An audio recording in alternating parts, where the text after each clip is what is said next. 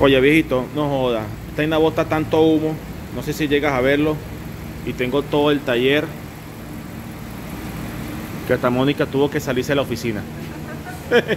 no puedo, chamo. A pesar de que tengo los extractores, eh, no compensa, viejo. Ahí, ahí llegas a ver. Nada más estando parado. Aceléralo, Mónica, aceléralo. Aceléralo, Mónica. Por favor. Chamo, si no llego a poder hacer el diagnóstico por, por esto, vamos a tener que primero atacar esta vaina, pana. Dale. Dale.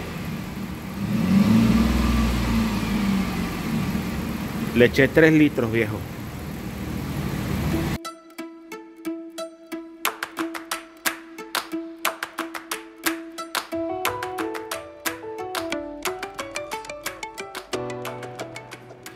Epa, compañeros.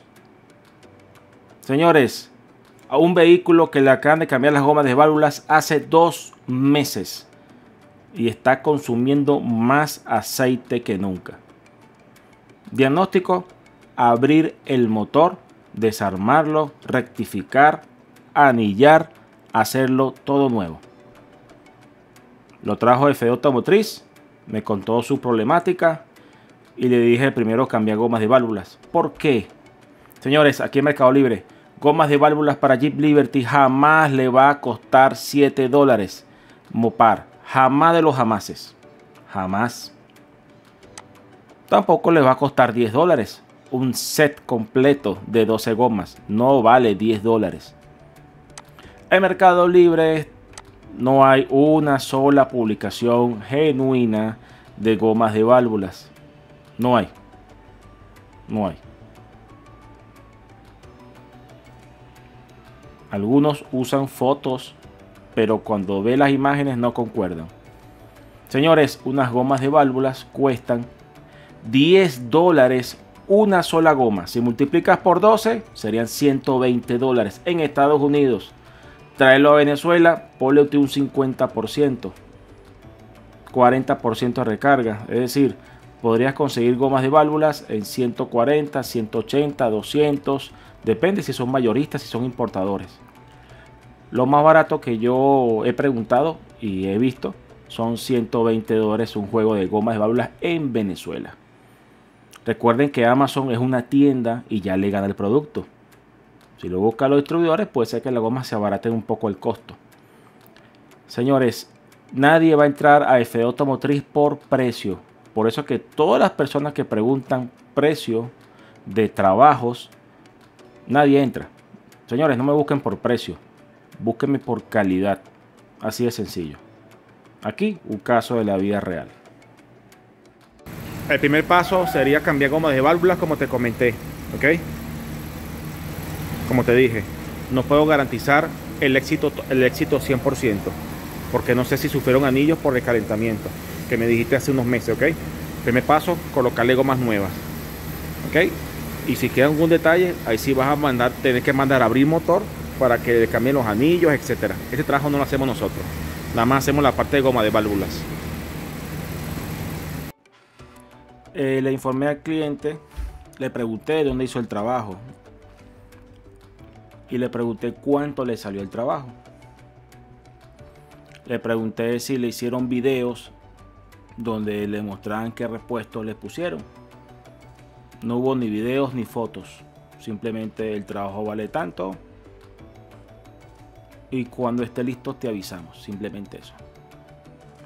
El cliente pensó que pagó una millonada por el trabajo y cuando me dijo el costo, yo le dije, hermano, te aseguro que por lo que pagaste, no te montaron nada, ni genérico de buena calidad, aftermarket, ni original.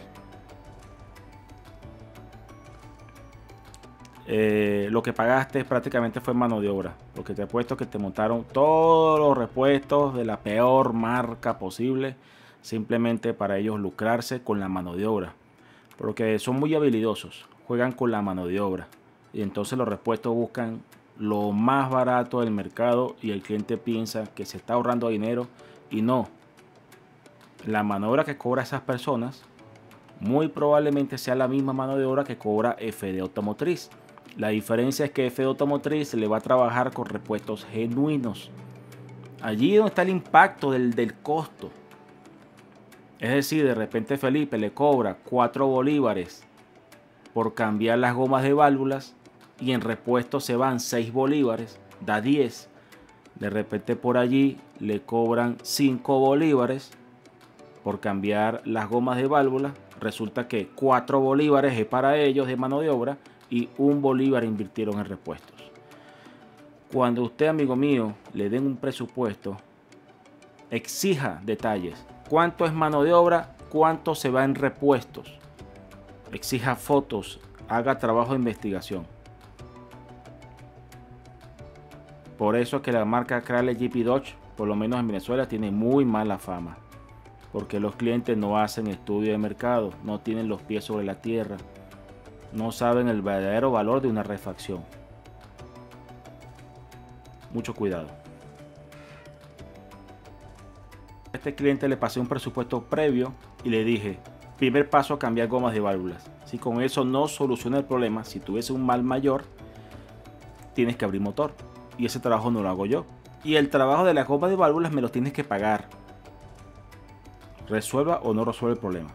Yo le dije, existen un 90% de probabilidades de que usted no puso gomas de válvulas genuinos o de buena calidad. Porque le soy honesto, ya la marca Felpro, la marca Male, marca Victor Reigns, no vayan a pensar que les garantiza años de calidad. Ya he probado con esas marcas y también son meses. Ha bajado mucho la calidad. Demasiado. Antes trabajaba con esas tres Marías y ahora gomas de válvulas Mopar. A juro. Muchos reclamos en el pasado con esas tres marcas que le mencioné. Hace años, 10 años atrás o más, eso era sinónimo de calidad. Pero hoy día, en gomas de válvulas, no. Son más del montón. Seguimos.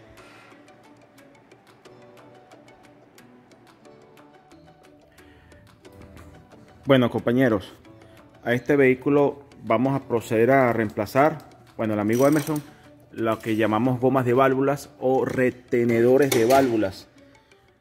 Emerson va a preparar aquí todo para hacer su reemplazo. Ya sacó los tapaválvulas. Y nada, cambiar los gorros. Y nosotros que le dijimos al cliente Emerson sobre este caso, eh, ¿cómo estamos manejando este caso con el cliente Emerson en relación al cambio de gomas de válvula? El primer paso es cambiar las gomas de válvula, a pesar que no se ve sospecha de que esté pasando compresión o haya un desgaste excesivo en el, Exactamente. en el motor. El primer, primer paso es eso. ¿Qué nos, qué nos pasó nosotros una vez, o un par de veces creo, eh, colocando gomas eh, que supuestamente era buena calidad? No resultó así como se dice, pues buena calidad. Este, como dos, tres meses. En dos tres meses comenzó a botar humo como este carro.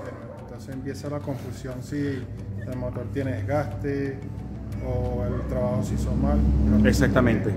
Porque esto se presta confusión y vas a decir, no, seguro, eso es el problema de anillos, ¿cierto? Y hay que desarmar motor, ¿ok? Y muchas veces simplemente las gomas de válvulas que son de mala calidad y las gomas se tuestan, a tal manera que se ponen como piedra. En este caso, el, cliente le hizo este trabajo hace tres meses. El detalle es que a lo mejor el técnico no se dio cuenta de la calidad de las gomas, ¿ok? A lo mejor hizo un buen trabajo, pero mala calidad en repuestos. Hay que ver si está consciente o no está consciente de ello. Porque también hay mucha piratería y hasta uno mismo se puede equivocar, ¿cierto? Está difícil la cosa esto, señores. Vamos a cambiar las gomas de válvulas, que la va a Emerson. Vamos a armar todo y luego se va a encender a ver si se corrigió o no la condición. Entonces, este, este carro se está trabajando de esa manera. ¿ok? Primer paso, cambiar gomas de válvulas. Si hubiese un problema, hay que desarmar motor y le estamos haciendo otro trabajo distinto, aparte de eso, que es trabajo de transmisión automática, cambiando unos sensores que lleva dentro de la transmisión.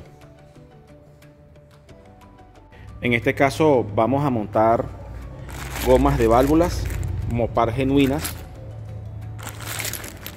Mopar genuinas. Ah, bueno, pues no quiere enfocar bien. Ok. el número de parte. Y la empacadura marca Male.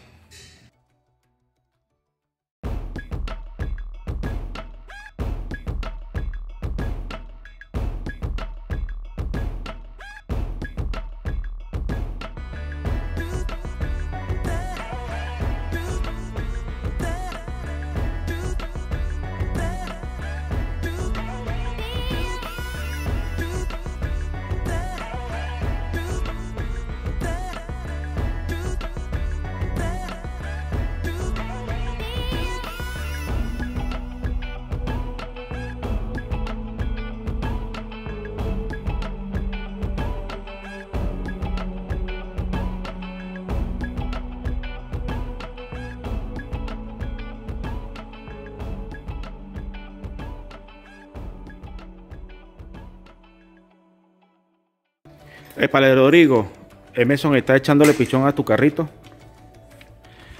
¿Cuántas gomas llevamos, Emerson? 8. 8. Pásame una goma nueva y una goma vieja. Dame la segunda. Sí, efectivamente la goma está muy abierta, viejo. ¿Ok? Creo que por ahí van los tiros. No voy a tomar veredicto final, pero creo que por ahí van los tiros. Ve la diferencia de abertura. Demasiado. Creo que aquí estamos hablando de gomas de mala calidad y eh, no se ven genuinas, ¿ok? O sea, gomas genéricas. Ve la abertura. Ahí lo ves. Las gomas están instaladas, amigo Emerson. Sí. En su totalidad. listo todo. Ok, las empacataduras, los empaques del tapabaula ya se están instalando. Nuevos. Estos son los viejos. Tenían hasta silicón. Bueno. Eh, se le va a montar bujías nuevas. Cuando tú desarmas todo lo que esté alrededor que haya que cambiar, ¿qué se hace? Se cambia, ah, Emerson. Va a llevar bujías nuevas. Yo le presupuesté cables de bujías y chupones de bobinas.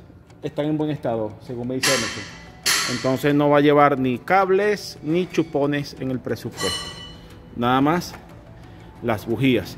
Los inyectores se van a lavar. Ah, estimado. Sí. Cuando hacemos estos trabajos que desmontamos inyectores, eh, se lavan. En realidad, en realidad no hubiese falta desmontar los inyectores, pero sí hay que desconectarlos. Y tú al mover los inyectores, si las gomas están tostadas, va a comenzar a fugar. Por eso optamos, incluyendo en el servicio de cambio de goma y válvulas, lavar inyectores. ¿Dónde están los inyectores, Emerson? En el piso. Del lado derecho. Están aquí. Entonces estos inyectores eh, se van a lavar y se le va a cambiar las, los o-rings. ¿Está bien? Porque nada más al desconectarlos y a moverlos, si este o-ring aquí arriba está cuadrado, queda fugando. Mucho cuidado con eso. Bueno compañeros, ya tiene ya una hora encendida desde que Emerson armó, armó la parte de la transmisión automática, que ese es otro video, las gomas de válvulas. Vamos a ver si bota o no bota humo. Claro, yo no la he sacado a la carretera, ¿no? A veces hay que sacarla para que termine de botar todo el aceite que queda en el escape. Pero ahorita vamos a hacer las primeras impresiones, ¿no? Entonces, nada. Vamos, sácala ahí, limpia? No, se no. no, no. ¿Qué va? Vamos a sacar a nosotros.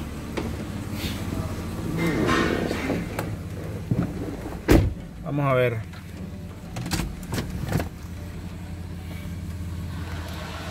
Avísame Kleiber. Vamos a ver si voto o no bota humo porque botaba humo de manera constante. Era casi que un pase directo de aceite.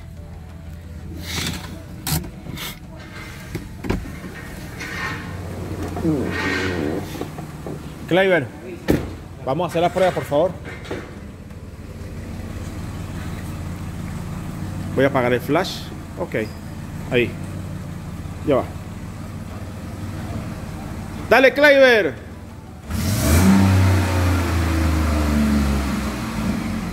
Dale, Kleiber.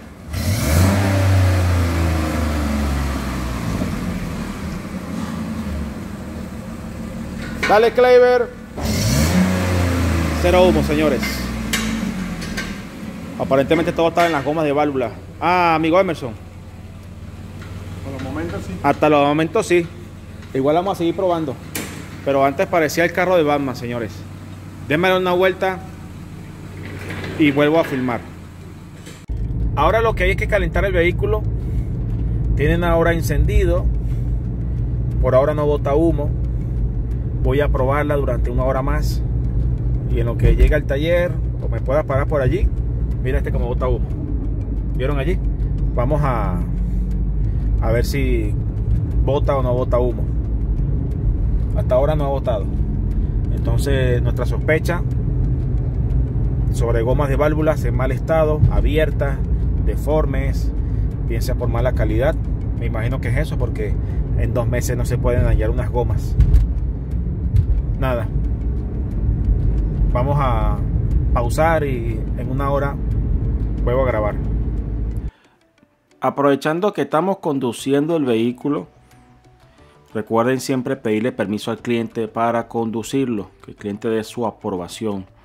Nosotros siempre le escribimos al cliente mediante WhatsApp, mira, vamos a probar tu vehículo, dice, adelante. Carguen siempre los papeles del vehículo, carguen siempre la póliza de seguro, establezcan reglas claras con los clientes y digan en qué zona usted va a probar el vehículo. A mi cliente le expliqué cuál es la zona, la ruta, es decir, toda la Cota Mil aquí en Venezuela, devolvernos por la Urbina, por la Francisco Fajardo, hasta llegar a Plaza Venezuela y en Plaza Venezuela subir por Mari Pérez e ir para mi taller. Entonces el cliente en todo momento está enterado. Igual iba manejando de vez en cuando enviándole fotos para que viera la ruta. Hice esta prueba también aprovechando una falla de transmisión automática que le reparamos al cliente. Esto va a salir en otro video de este mismo vehículo. Es decir, este vehículo se trabajó por dos distintas razones. Alto consumo de aceite, bote de humo y problemas en la transmisión automática que hacía que no hicieran los cambios. Ella estaba en modo de seguridad. Ahí le muestro un poco aquí Caracas. Ahí a su izquierda está Petare. Estamos pasando frente a la Urbina. Y bueno, para los que están fuera del país, que tienen años que no han venido a Venezuela, ahí está, para que se acuerden. Ahí estaba explicando en el video. Ese video sale también para transmisión automática. Entonces es compartido para estos dos. Allí estamos llegando a sector Altamira. Estamos en la hora pico. Estamos 5 y media de la tarde. Un buen tráfico también para probar la falla de transmisión automática. Para probar el verdadero consumo de aceite. Mientras más rueden el vehículo, mientras más caliente, es mejor para ustedes. Entonces siempre allí tratamos de hacer una prueba de carretera. Es muy raro que entreguemos un vehículo sin antes probarlo y estar seguro de que está, está en orden. A la izquierda tenemos a La Carlota, el aeropuerto de La Carlota, solamente que no lo filmé. Y nada, para adelante vamos hacia Plaza Venezuela. Le estoy mostrando parte de los sensores. Ese video es para transmisión automática, recuerden eso. Simplemente me vi pertinente mostrárselo allí. Y nada, ya a finalizar la ruta, lo que grabamos. Y vamos a llegar al taller y les voy a mostrar el tiempo que tenemos rodando. como Con el escáner. Bueno compañeros, ya llegamos acá. Vamos a ver si bota o no bota humo. Tiene ya más de una hora rodando en la vía. Aquí se los voy a mostrar. Aquí dice, perdón. Tiempo desde start, o sea, desde que prendes el carro. Casi 5000 segundos. Recuerden que 3600 segundos, si no me equivoco, es una hora. Entonces llamo como una hora y 20. ¿Está bien? Estoy revisando problemas de transmisión automática. Ese es otro video. Estamos atendiendo dos casos simultáneos. Aquí está un buen amigo, Enzo, que me va a hacer el favor de acelerar cuando yo te avise. Todavía no. No se ve que esté botando humo ni nada. ¡Aceléralo duro! Dale otra vez. Dale otra vez. Perfecto.